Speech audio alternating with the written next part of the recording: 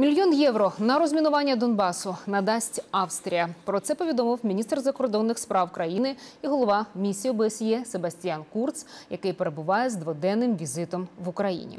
Він вже зустрівся з президентом та міністром закордонних справ. Петро Порошенко закликав активізувати консультації у Відні щодо розміщення озброєної поліцейської місії ОБСЄ на Донбасі. Павло Клімкін зазначив, ситуація в зоні АТО зараз складніша ніж на початку року, адже бойовики інтенсивніше обстрілюють житлові квартали. Себастьян Курт зазначив, що спостерігачі мають доступ не до всієї лінії зіткнення, не можуть потрапити і на ту ділянку українсько-російського кордону, якої Київ не контролює. Однак вони не припинять моніторити ситуацію, навіть збільшать число своїх людей. Und als